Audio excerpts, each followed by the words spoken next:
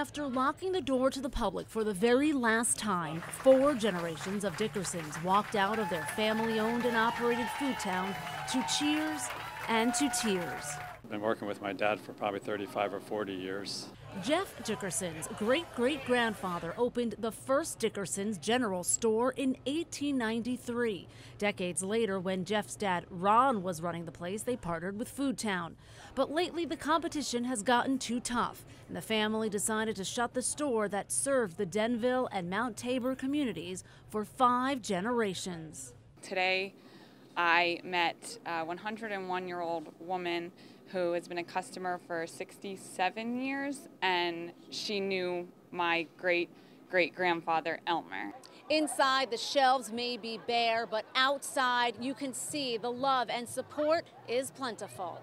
But with the sadness came so much um, positive love and uh, affection and support. It's been incredible. The store, while rebuilt a few times over the years, has been on the same property since the beginning. And that property was filled on closing day with longtime customers and former employees. Barbara Schultz worked at the store for 53 years. To me, it's like a death in the family to me. It is. A family run business that felt like home to so many customers and employees. Mr. and Mrs. Dickerson seniors, now great grandparents to the sixth generation in the store, sum it up best by calling it all bittersweet. It's been an adventure, and I think the adventure will continue. I really do. We'll have to kind of reinvent our, Mhm. our future, which we can do. In Denville, Marcy Rubin, News 12, New Jersey.